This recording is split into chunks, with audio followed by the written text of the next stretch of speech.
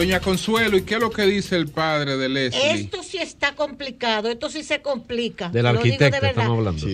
Sí, El a la- ingeniero José Rosado, padre de Leslie, ¿verdad? De la malograda arquitecta asesinada en Boca Exactamente, Chica. exactamente. Todo el mundo sabe quién es. Dio una declaración el viernes, cuando se enteró y se, se produjo después de conocerse el pasado viernes la medida de coerción a los que hasta el momento el Ministerio Público ha sometido, que son el cabo Yanil Disla y el motorista Rafael Castillo. Dio estas declaraciones. A, que a mí me han, bueno, yo creo que esto, esto complica la situación. En medio de su dolor, estoy leyendo Diario Libre, el empresario también oficial de la policía se dejó llevar por su sentimiento y respondía a los periodistas todas las preguntas.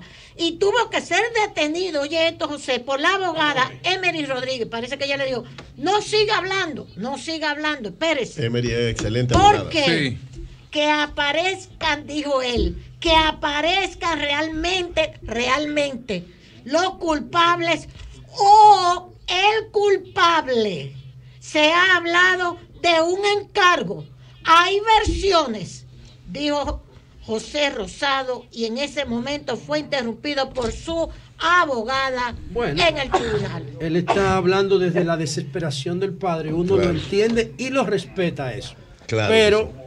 Pero de que complica No, la que- situación. hay que esperar las investigaciones, No, que eso investigaciones fue, eso fue un, un exceso de uso de fuerza producto de la ira acumulada. Bueno. Ahí no hay otra cosa. Bueno, pero la Pueden luz, al igual lo que tú quieras, pero es el papá La que luz. está hablando. Claro, El Claro, padre es el habla- papá que lo está respeto, hablando. pero no- claro. Sí. El, pa- el padre dijo también que Leslie todo se lo ocultaba y que tal vez si hubiese sido lo contrario, las cosas fueran diferentes. Dice, tantas mediocridades que había en su entorno Sí. y me lo ocultaba todo. Y a lo mejor si me lo dice, muchas cosas hubiesen sido diferentes.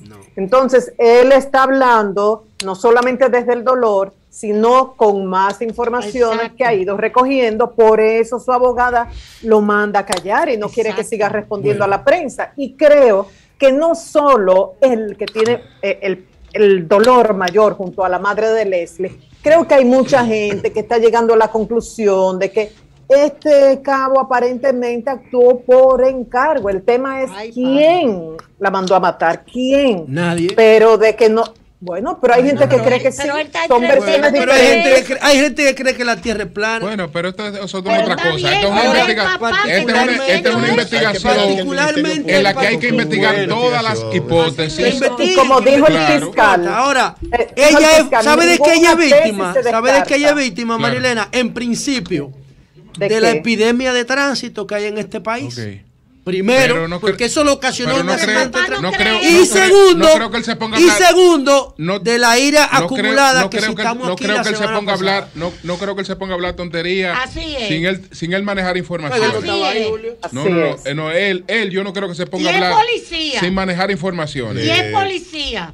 Ex, ex. Sí, además. bueno, pero es policía porque lo presenta Exteniente como coronel. policía, Bueno, teniente tú vas a ir con tu mujer embarazada Bueno, y tus bueno. dos hijos en un motor a, a- a- un sicariato, por Dios. Además, Además, que el ministerio haga su eh, trabajo. tú eres sicario, pero cuando en un motor con tu familia La verdad entera. es Bueno. que nadie vio el motor con la familia. Nadie Eso ve el motor con la familia. Bueno, Es decir, el- nadie vio Va- el motor va- con la familia vamos con Oli, vamos con Oli, adelante Oli. saludos, buenos días. Feliz Julio, después de Oli, yo quisiera- duro, Oli, con esto. Por favor, hablaron bastante.